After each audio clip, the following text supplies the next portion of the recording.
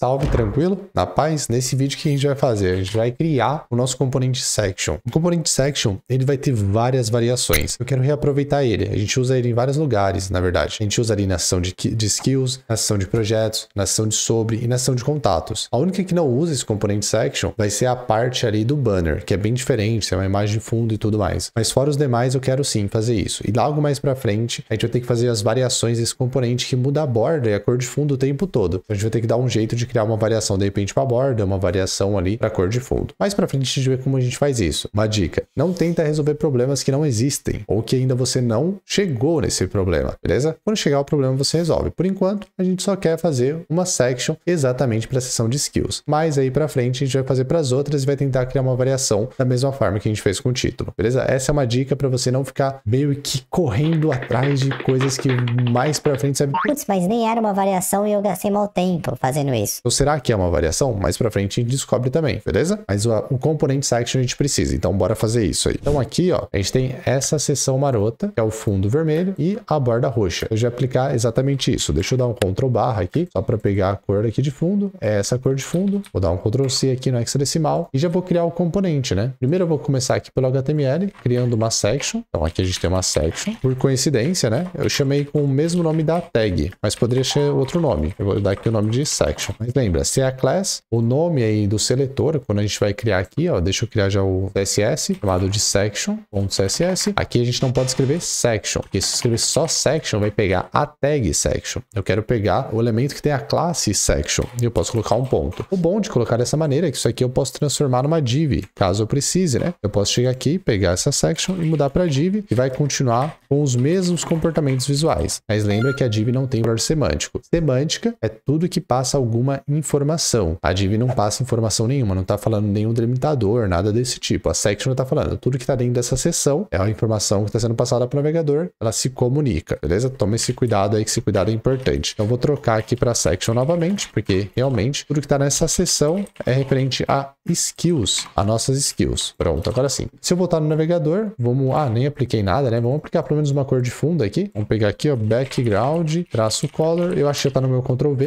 Eu tirei V.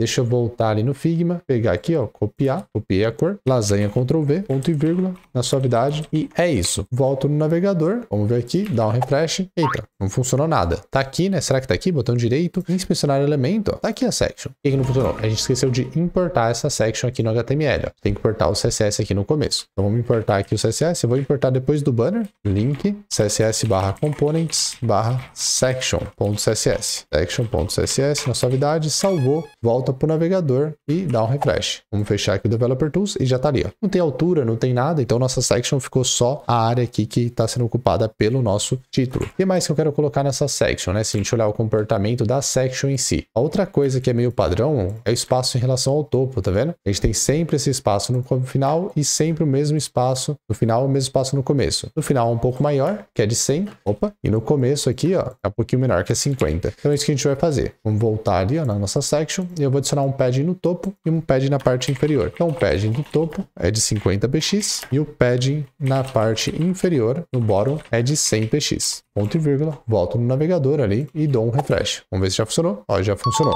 Agora está faltando a borda, né? Vamos pegar a cor da borda ali. A gente já sabe que é de 10 px, que é o que a gente aplicou em todos os lugares. E essa é a cor da borda. Copiar aqui, a cor da borda, voltar ali no navegador, escrever aqui, ó, border, bottom, de 10 px, solid, lasanha, opa, Desculpa, sem querer abrir aqui. lasanha, Ctrl V, ponto e vírgula. Salvou, volta ali no navegador, dá um refresh e a nossa borda já que tá aqui roxinha marotamente, tá vendo? Bem roxinha aqui, bem no detalhe pra gente. Então, a nossa section já tá finalizada mesmo. Toda vez que eu quiser reaproveitar essa section, a gente vai usar essa mesma estrutura. A gente já sabe que sempre vai ter o quê? Essa borda, esse espaço no final e também esse espaço no começo. Pronto. Vou usar de novo? Posso usar de novo. Olha que a parte legal aqui, ó a gente quiser simular aqui a próxima sessão, eu já poderia simular, ó. Section, a gente pode usar lá o, o emit, opa, já usar no emit aqui para ficar até um pouquinho mais rápido, ó. section.section e dar um enter, salvar, voltar ali no navegador, ó, a gente vai ver que já vai ter duas seções, ó, uma debaixo da outra. Mais pra frente vai ver como muda a cor e tudo mais, beleza? É só pra mostrar pra você que já dá pra reaproveitar. E o que eu falei, que isso daqui fosse uma div, ó, continua com o mesmo comportamento visual. Olha que interessante. Volta no navegador, dá um refresh, ó, mesmo comportamento visual, que esse é o propósito. O componente está atrelado ao comportamento visual e não exatamente ao conteúdo, beleza? Para realmente a gente conseguir reaproveitar em contextos diferentes. Quando eu falo contexto, em